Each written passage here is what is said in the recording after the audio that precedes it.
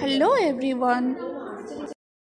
Welcome to our online mathematics class. In this video we'll start our chapter number 7 that is decimals. We have completed till the chapters fractions. Now we have three chapters for PT2 course. These are the chapters decimals, percent and geometry. And today we are going to start our new chapter that is decimals. It is the first chapters for PT2 course. That means the periodic test. 2 all right so children before starting the chapters we'll start with a short introduction of decimal. So what is decimal? We'll see it first. Okay. Let's discuss about indian system of numeration at first which you have got in the first chapters actually you are doing it from last three years isn't it? Yes yes. So children whenever we are writing a number every digit have its own place. All of you know that. And this is the indian place value chart and from the right side we are writing the numbers starting so ones is in first period and there are three places ones tens hundreds so ones means we can write as 1. Tens means 10. So it's tens and now uh, move to the next side, left side that is hundreds. So 1, 0, 0 and if we'll see now thousands then it's thousands and so way we can do the others also. Now let's look have it. See 1 then 10 so it increases the value. And how many? Is 1 multiplied by 10 then we are getting the tens. All right. So same way if 10 will multiply it by one more 10 then it's becoming 100 and if 100 multiplied by 10 then it becomes 1000 isn't it? Yes. So that means the values are increasing from right side to left sides. Now, if we will do in reverse way, that means it is multiplication. If we'll do the division from like 1000 divided by 10, then what we are getting? See here children, see 1000 divided by 10. That means we have to write the reciprocal of 10 so if you write the reciprocal of 10 then we have to change the sign also. It will be multiplication. So 1 by 10 now this 10 100 1000 so it's 100 so which which what is becomes? 100 so 100 is there. Now it means it's 100 so now again if we divide 100 divided by 10 we'll get the 10 as 10 100 divided by 10 it's all of you know it will be 10 now again if we'll divide 10 divided by 10 see here 10 divided by 10 so 10 10 will be cancelled so it will be 1 so we are getting the 1 isn't it? Yes. Now all of you know in fraction chapters we have got any number you can write in the fractions so and if 1 1 if we'll divide by 1 more 10 so 1 the next place what will be? 1 same way if you'll do the same reverse process. So 1 divided by 10 how we can write it? We can write like this 1 upon 10 isn't it? Yes. Now same way the next place what it will be then? 1 10 1 upon 10 divided by 1 more 10 so what it will be 1 by 10 sign will be changed then reciprocal of 10 1 by 10 so now it means 1 by 100 so it is 1 by 100 all right. Now the names. What will be the names of this place positions so it will be it is called as tens place. Okay? All right. It is the tens place. And it is 1 by 10 means hundredths place okay. All right next same way we can do that. Other places so we can find out. All right children. So and ones and tens in between we can separate it.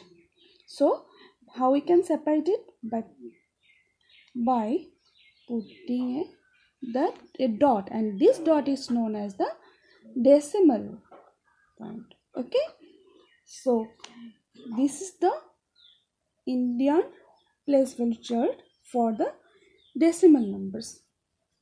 So finally we have got this place value chart for decimal numbers. That means thousands hundreds tens and decimal point. Ones tens hundreds thousands so on. So 1 by thousand 1 upon hundred 1 upon 10 then point decimal. Ones 1 then tens 10 hundreds 1000 so this way we can solve for any given numbers. Now how we can use this? Why we have used this decimal point children?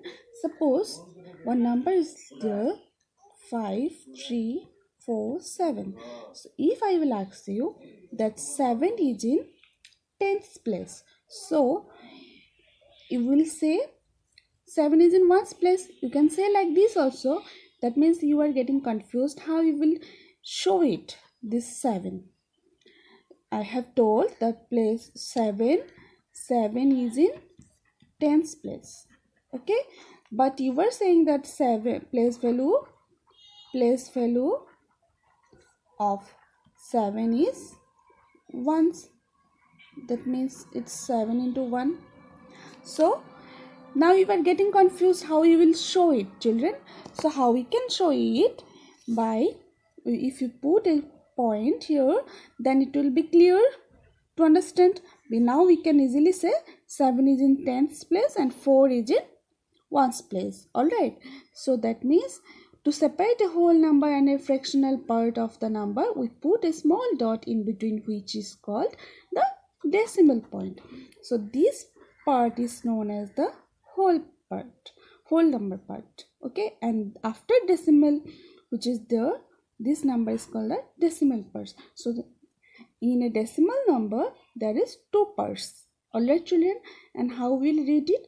After decimal we'll just mention the digits okay? Like 7 here only we'll say that uh, 534.7 okay? Now let's see here. Decimal fraction. Actually these all are the decimal fraction. 1 upon 10 1 upon 100 1 upon thousands.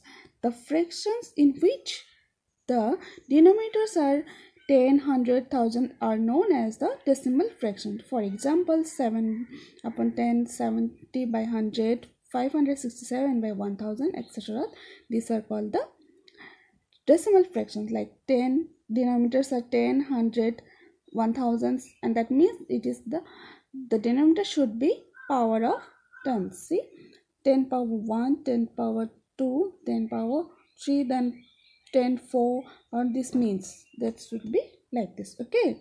So 7 by 10 now let's see one thing. 7 by 10 how we can write in decimal form? So decimal form how we can write it children? We have to count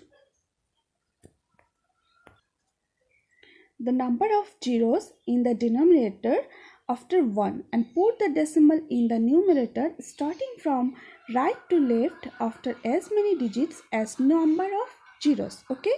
So here in 10 how many zeros are there? 1 zero. And numerator is only one digit. That means it is 7 only. So we have to put the, the decimal after one digit. As one number of zeros is 1 so from right side we have to do so 7 then of one digit all right. Now we'll put the decimal. Then for as entering no other digit is having here. So we'll put one zero. That means it it will show the integral part is zero. All right. Now suppose 56 by 100 how we can do it? Number of zero is 2 and there are digits in the numerator. Number of digits also 2 same. So now we'll put the comma uh, decimal after two digits. So 6 and 5 if you write then we'll get the point. Okay? And integral part no other zero uh, digit is there. So we'll put one zero. All right so 0 0.57 6 and you will don't read like this uh, 0 0.56 you have to say 0 0.56 or you can say decimal 56 okay children? Now and these things already i have told decimals uh, what is called the uh, two part whole number part and decimal part. All right now let's move to the exercise questions so in in our first exercise exercise 7.1 the cover first question is write the following decimals in words. So we have to write these decimals into words. So 632.17 so it will write 632.17 simply. Now it's very easy. Second one is 287.194 so these the things. And c number also same way 892.103 892.103 so after decimal no need to write here decimal point only point you can write. And here point 103 okay? Children you don't say like this 103 you have to say 103 and same way the rest of the sum can be solved by you. D and e number and 2 number is. Now let's do the 2 number. Write the flying fraction as decimals. So this i have explained just now only. A number 6 by 10 how we can write it one digit is having in 0 number of 0 is 1 we have to look the number of 0 so it will be 0 0.6 now second one is 6 of 3 by 10. So it is in a which fraction? In fraction chapter we have got it is in a mixed fraction. Now we have to convert into the improper fraction. So 6 6 into 10 is 60 and plus 3 63 by 10 now you can see the number of 0 is here 1 and there are two digits so after one digit we will put the point. So it will be 3.6 that means 6.3 this is the result. All right now same with c number 8 by 100 so 8 by 100 there are two digits. So digit is number sorry number of 0 is 2 but digit is in the numerator 1 digit. So we have to make it 2 digit. How we can make? By put if we put 1 0 to the left side of the digit. So it will be 0 0.08 now it's become 0 if we give like this 0 8 so it's now becomes the two digit number and after two digit begin then we'll put the point. And as integral no other digit is there. So integral part should be zeros. That's why 0 0.08 but if we'll put any other like this 0 0.080 that will also be same. If we put the x after decimal if we put the point 0 from the right side of a number then it will not does it does not change the value of that number. But if we put the zero in the left side it will be change the value after point. Okay children? Now i hope it's clear to you. And same way the question number two d e f g s can be solved by you. Thank you